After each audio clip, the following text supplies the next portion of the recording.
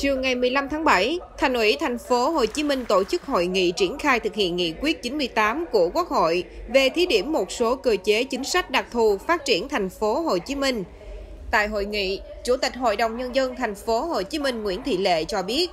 Điều tiên quyết lúc này là cả hệ thống chính trị cần đồng tâm hiệp lực để cụ thể hóa từng cơ chế chính sách nhằm tổ chức thực hiện thắng lợi nghị quyết 98 của Quốc hội, chỉ thị 27 của Ban chấp hành Đảng bộ thành phố Hồ Chí Minh về lãnh đạo, chỉ đạo triển khai thực hiện nghị quyết 98 cũng như nghị quyết 18 của Hội đồng nhân dân thành phố Hồ Chí Minh về triển khai thực hiện nghị quyết 98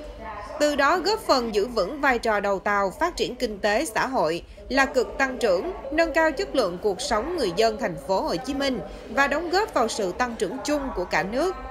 Về những công việc Ủy ban nhân dân thành phố Hồ Chí Minh đang triển khai để thực hiện nghị quyết 98, Chủ tịch Ủy ban nhân dân thành phố Hồ Chí Minh Phan Văn Mãi thông tin, Ủy ban nhân dân thành phố Hồ Chí Minh đã xác định 28 nội dung đề án trình Hội đồng nhân dân thành phố Hồ Chí Minh thông qua tại các kỳ họp trong năm 2023. 26 nội dung đề án thuộc trách nhiệm thẩm quyền của Ủy ban nhân dân thành phố Hồ Chí Minh phải hoàn thành trong năm 2023. Các nội dung này được các sở ngành và các tổ công tác đang khẩn trương chuẩn bị. Ủy ban nhân dân thành phố Hồ Chí Minh cũng sẽ tập trung thực hiện một số nhiệm vụ trọng tâm khác như thành lập hội đồng tư vấn và các tổ giúp việc, chỉ đạo các sở ngành địa phương và các đơn vị trực thuộc hoàn thành xây dựng kế hoạch thực hiện trong tháng 7 năm 2023, phải khẩn trương triển khai để đạt kết quả cao nhất.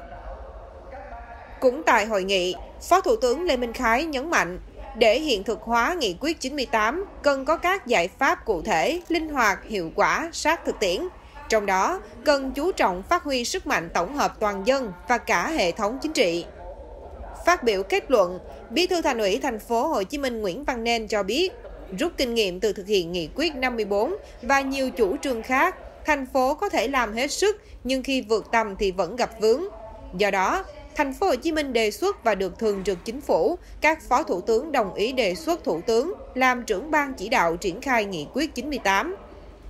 Việc thành lập ban chỉ đạo là cơ sở để thành phố rút ngắn thời gian trong thực hiện các cơ chế chính sách đặc thù.